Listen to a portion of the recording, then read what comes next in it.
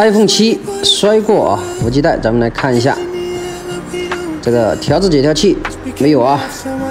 那这个手机来的时候写的是摔过不读卡，这种摔无基带的就属于通病类的啊。咱们来取下屏幕，目测一下啊，手机没有进水，然后打下螺丝，取下主板。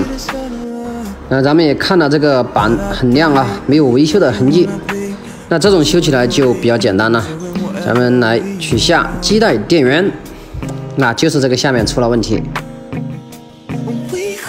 那拿下基带电源之后，咱们对这个焊盘进行一个处理啊，然后对基带的电源的底角处理一下，然后要装回基带电源，然后进行装机测试啊。咱们来看一下，现在已经显示无 SM 卡，之前是无服务的啊。那看一下设置，然后看关于本机，看一下基带现在有没有。